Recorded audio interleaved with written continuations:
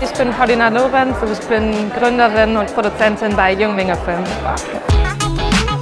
Wir sind eine Produktionsfirma aus Berlin, die sich darauf fokussiert, queere und postmigrantische Geschichten zu erzählen, weil wir das Gefühl hatten, dass es in der deutschen Film- und Fernsehlandschaft total fehlt. Wir produzieren unter anderem zwei Serien dieses Jahr, was super aufregend ist für uns. Eine dafür für Netflix. Damit strukturelle Veränderungen passieren kann in der Filmbranche, ist es eben auch wichtig, dass man unterstützt und gefördert wird. Und deswegen freuen wir uns total, dass wir hier bei Catchy Fluren sein können.